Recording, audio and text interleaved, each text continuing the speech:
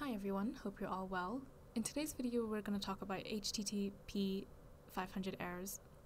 We'll discuss what they are, what causes them, as well as some tips on how to reduce them occurring on your website as much as possible. So, a HTTP 500 error, also known as a 500 internal server error, is basically a status code that ind indicates a problem on the server side while attempting to fulfill a request made by a client, such as a web browser. The error uh, suggests that something went wrong within the server, preventing it from processing the request and, it gener and generating a valid, valid response. Um, HTTP 500, HTTP 500 error is a generic error message and it doesn't uh, provide a specific detail about the exact nature of the problem, so it could be caused by various factors such as programming errors, server misconfigurations, uh, security restrictions, database issues, any resource limitations, conflicts with other software running on the, on the server, and server overload. For users accessing a website um, or website or service, um, they could use uh, a 500 error may look like something like this. So this may look familiar to you, but it'll say something like this page isn't working. It'll say the domain name or whatever the page URL is, and it'll say it's currently unable to handle the request. And there you have the HTTP 500 error. Um, so you can see it doesn't give you a lot of details to what's actually happening, just that there's something wrong on the server side of things. So as mentioned before, there's lots of reasons why a 500 error has happened. Um, one of the reasons is programming errors, so bugs or mistakes in the server-side code can trigger a 500 error, and this might include syntax errors, incorrect function calls, or flawed logic within the code. Um, with server misconfigurations, it just means uh, things like incorrect file permissions, uh, misconfigured server software, or incompatible modules. Um, all of that can result in a 500 error. Problems with the database server, like connectivity issues, misconfigured database settings, or corrupted data, can lead to 500 errors. Um, and then insufficient server resources like CPU, memory, or disk space can cause the server to encounter errors and respond with the 500 status code. Um, incompatibilities or conflicts between different software components can cause them as well. Um, and if the server relies on external de- dependencies like libraries or APIs, issues with those dependencies uh, can result in 500 error as well. Um, and excessive traffic or requests overwhelming the server's capacity will result in a 500 error. And lastly, security measures like overly strict permissions, firewall rules, or security modules can sometimes block the server from fulfilling the request and generate a 500 error as well. These are just a few examples of potential causes for 500 errors. It's worth noting that the specific cause can vary depending on the server configuration, uh, the program languages or framework that's being used, and the nature of the application or website being processed as well. Troubleshooting and resolving the issue often require examining server logs, error messages, and investigating the specific circumstances surrounding the error as well.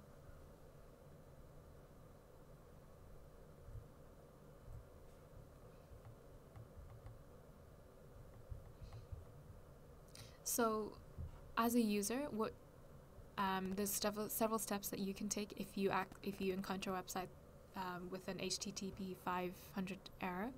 Um, one thing that you want to do first is just refresh the page. Um, sometimes the error can be temporary or caused by a mom- momentary glitch. Reloading the page can help determine if the error is, persists or if it was a temporary issue. You want to check for any uh, maintenance or downtime announcements. So the website or service may be undergoing planned maintenance or experiencing planned downtime. So look for any announcements or, or status update, updates on their official like social media accounts or any emails that they might have sent over as well. Uh, cached or corrupted data in the browser can sometimes cause issues. Clearing the cache and cookies can help ensure that the browser fetches fresh data from the server as well. And if the error persists, try accessing the website or service using a different web browser or device. This can help determine if the issue is specific to the current browser or device being used. If the HTTP error continues uh, to occur, it's best to reach out to the website admin or support team. They can provide specific guidance, investigate the issue from their end, and potentially resolve the problem as well. It's good to provide them as, with as much detail as possible, including the steps you took and any error messages you might have encountered. And sometimes it's just best to wait and try again later. Sometimes the server may be temporarily overloaded or experiencing issues that the be- that's beyond the user's control. In such cases, it's available. It's advisable to wait for some time and try accessing the website or service again later. So, what to do if you're the website owner? Uh, the main thing that you want to do is check for server logs. So, start by examining the server logs to gather information about the error. Look for any specific error messages or stack traces that can be uh, provide that can provide insights into the cause of the problem. Server logs can often be found in the server's file system or accessed through a control panel as well, provided by your hosting provider. Um, and you want to check if there's any recent changes that were made to the website, such as uh, updates to the code, configurations, or server settings. Changes could introduce new bugs or conflicts that may lead to a 500 error, so you want to roll back any recent changes or review them carefully to identify any potential issues.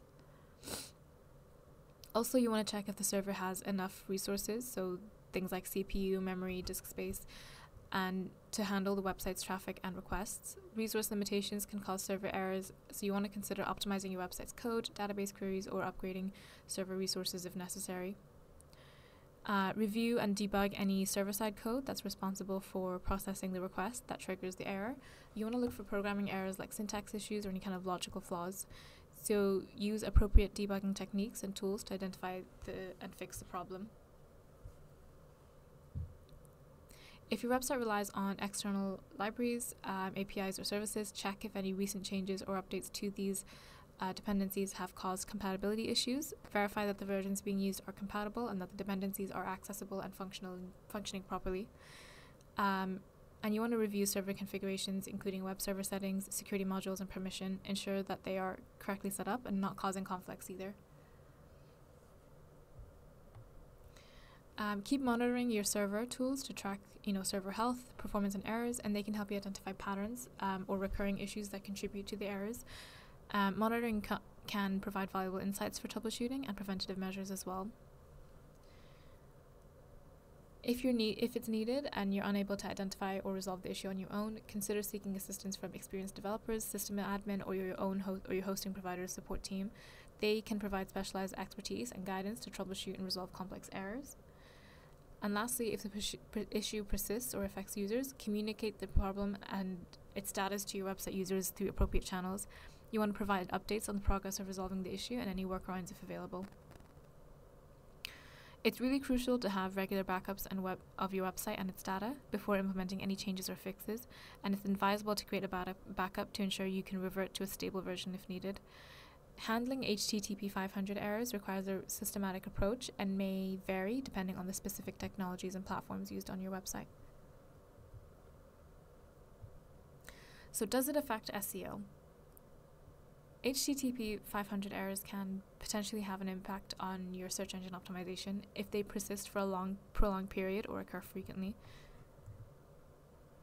So, one way it can affect your SEO is through user experience. These errors negatively impact UX as they prevent users from accessing the requested content when they asked for it. If users consistently encounter these errors, they'll become frustrated and they'll abandon your website, and this will result in really high bounce rates. High bounce rates and poor user engagement metrics can indirectly affect your SEO. When search engine bots encounter a 500 error while crawling a website, it can disrupt the indexing process. If the error persists or affects critical pages, search engines may have difficulty accessing and indexing your content accurately, uh, leading to potential negative impacts on search visibility. While a single HTTP 500 error might not have a significant impact on search engine rankings, a pattern of recurring errors can raise concerns for search engines if search engines detect that a website frequent that a website frequently experiences server errors. They may perceive it as an indicator of poor quality, which could affect its rankings. Search engines allocate a certain amount of resources known as a crawling budget to crawl and index websites, and if a significant portion of the crawling budget is consumed by encountering HTTP 500 errors, search engines may allocate fewer resources to crawl and index your other pages, and this can impact the visibility of new and updated content in search results. So, how to mitigate potential SEO impact of HTTP errors? The first thing that you want to do is make sure that you investigate the root causes of the errors and apply fixes as, as soon as possible. Regularly test your website's functionality to ensure the issues have been resolved as well. It's also good to keep an eye on server logs, website performance, and error reports to promptly identify and address any uh, 500 errors that arise. And keep track of your website's SEO metrics, including organic traffic, rankings, and user engagement. If you notice a significant decline or anomalies, investigate whether HTTP 500 could be a contributing factor. And if you encounter prolonged or recurring 500 errors that impact your website's indexing, consider using tools like Google Search Console to inform search engines about the issue.